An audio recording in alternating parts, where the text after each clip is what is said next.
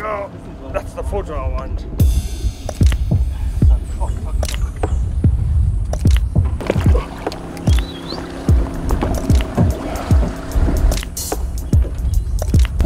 Go.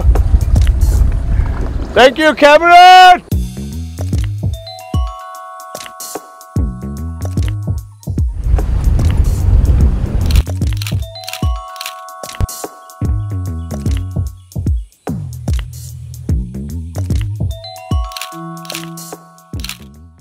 Guys, so we're still doing some drifts. The guys uh, hooked a few coppers and they've uh, one lost and some bites lost. So I've become the trace boy. So I'm helping the, the guys uh, make some traces for when they they want to go and try and target uh, other fish. So yeah, tenner hook, one more hook snood, about I don't know 700, and then sinker line a little bit longer, or a meter, meter and a half, and uh, then you just go down with live bait and big smelly baits, try and catch a punzi or um, other fish, something else other than a copper. Uh, obviously that's going to be a bit shallower. So yeah, thing is there's not much I would have loved to come out here and trawl and catch tuna and game fish and all of that. There's not much here to catch. So uh, in the, at this part of the year.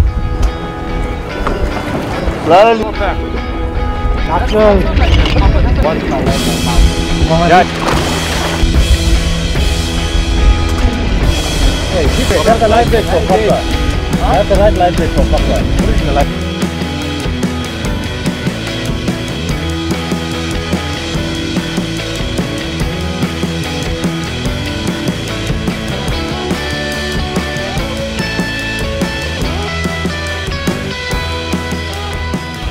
you on? Okay guys, so we're going to double up here. Boys are bending. Uh, Sean, I think you can come around. eh? Slowly, slowly, slowly.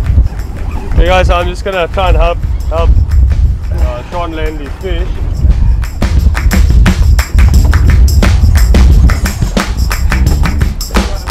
Marky!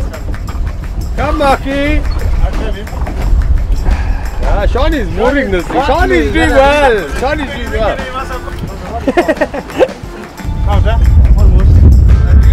There you. Jump on the other side of the boat, Sylvester. Let's balance the weight there a little bit. Great fun, Wait,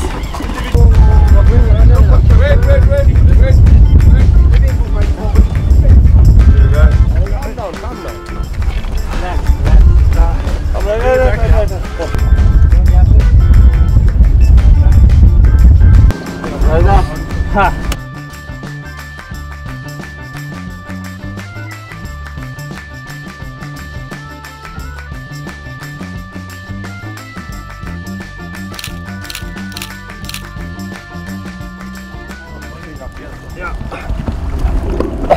Okay guys, we're gonna try and release this copper.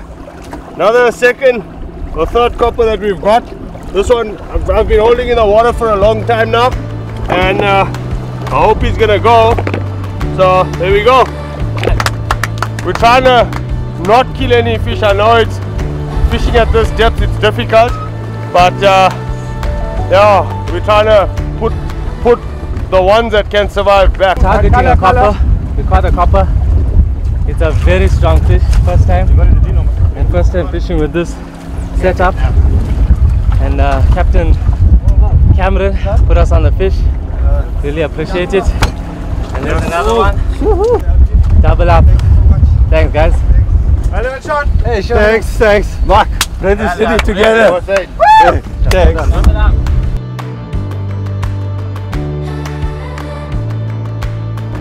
Just trying to not damage the gill. I'm just holding it in the side of the plate, yeah. Hey, big lay bait fish on. Huh? It wasn't even a Yo. Guys, Oh yeah? it's so difficult to try and release this fish. As much as we want to, you know, we want to conserve. It's uh, you're bringing them up from 100 meters, and uh, Hey, that circle looks yeah. One. Not good.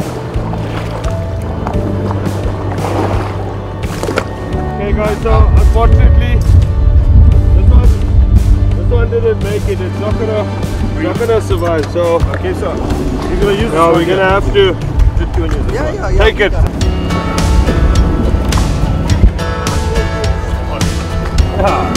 We're done. What?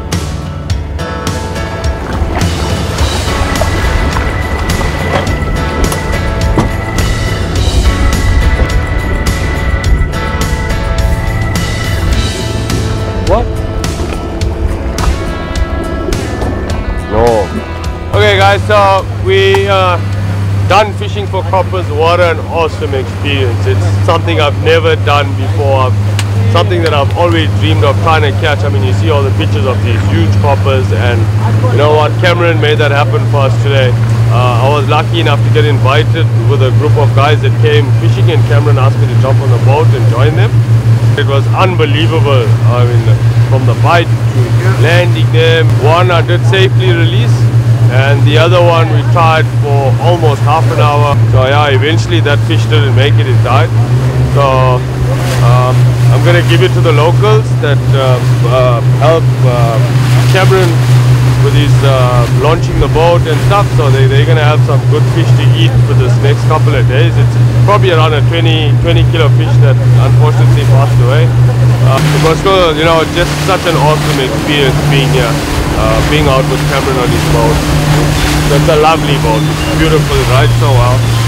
And uh, yeah, so we're gonna head back. Time to get home now. Uh, we've got one more day left and tomorrow we're gonna try and come out from the boat quickly and then just fish a little bit inshore. Uh, maybe try and catch a punzi and then we're gonna have a, uh, yeah, that's the plan for tomorrow.